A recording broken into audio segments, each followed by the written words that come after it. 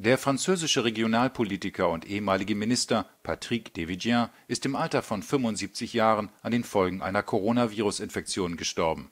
Patrick Devidjian war am Mittwoch zur Beobachtung ins Krankenhaus gekommen, nachdem er positiv getestet worden war. Auf Twitter schrieb der konservative Politiker, er sei von der Pandemie betroffen und lobte die außergewöhnliche Arbeit der Ärzte und Pflegekräfte. Der Rechtsanwalt war von 1983 bis 2002 Bürgermeister von Antony. Seit 2007 war er Präsident des Departementrats Hauts-de-Seine. Während der Präsidentschaft Nicolas Sarkozys hatte Devedjian verschiedene Regierungsposten inne.